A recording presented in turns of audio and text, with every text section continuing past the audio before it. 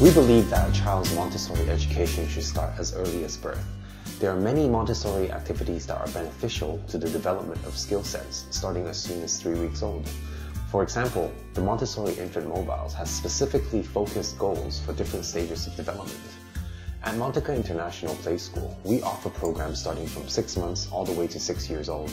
Our infant toddler curriculum focuses towards cognitive skills, motor skills, sensory, language, social skills, and practical life. These subject areas become fundamental towards learning skills in the CASA program, which consists of the five learning areas, practical life, sensory, language, arithmetic, and culture. In addition, in a Montessori environment, one of the most important elements is to have a mixed age group setting. This allows the older children to learn how to teach the younger children, and, the same, and at the same time, the younger ones learn to learn from their older classmates.